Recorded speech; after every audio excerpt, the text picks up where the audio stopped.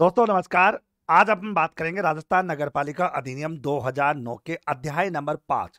अध्याय नंबर पाँच की जब अपन बात करते हैं दोस्तों नगर पालिका निधि के बारे में जिसमें उल्लेख किया गया धारा नंबर 76 से लेकर 89 तक दोस्तों इसमें धारा बताई गई है। मेरे पहले साथियों आज इस वीडियो में धारा नंबर 79, 80 और 81 के बारे में अपन बात करेंगे। धारा नंबर 79 में राजस्थान नगर पालिका अधिनियम 2009 की धारा नंबर 79 जो कहती है वो नगर पालिका निधि के बारे में बात करती है। कि नगर पालिका के द्वारा अपना एक फंड क्रिएट करना पड़ेगा, जिसमें नगर पालिका की सभी प्रकार की जमाओं को स्वीकार जाएगा सभी प्रकार की जो जमाएँ है, वो नगर पालिका निधि में रखी जाएगी। और नगर पालिका जो निधि है, वो नगर पालिका के ट्रस्टी के तौर पर होगी। नगर पालिका जो है, उसको अपने पर्सनल यूज़ के लिए काम में नहीं लेगी। इस बात का उल्लेख धारा नंबर सेवेंटी के अंतर्गत बताया गया। ओके?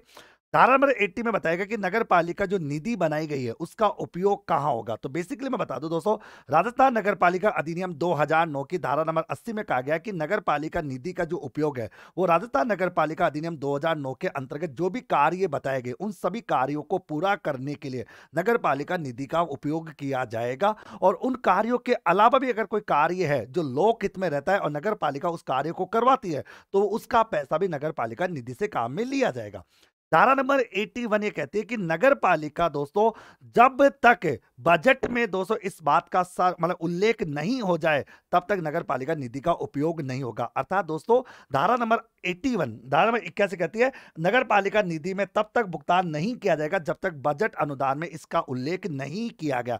बजट में प्रोविज़न आने के बाद ही नगर पालिका निधि का उल्लेख उपयोग होगा।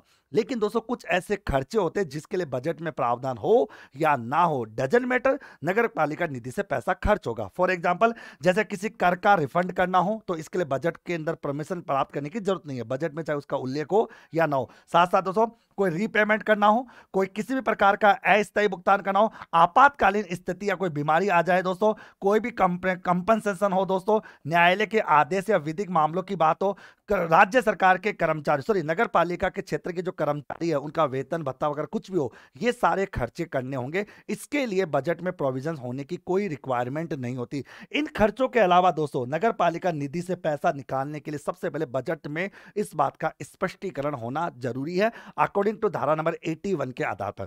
सिंपल शब्दों में मैं कहूँ, धारा 79 में नगर पालिका निधि का वर्णन है, धारा 80 में नगर पालिका निधि के उपयोग का वर्णन है, और धारा 81 में कहा गया कि नगर पालिका के फंड का उपयोग तब तक नहीं होगा जब तक उसमें बजट अनुदान में उसका उल्लेख नहीं किया गया।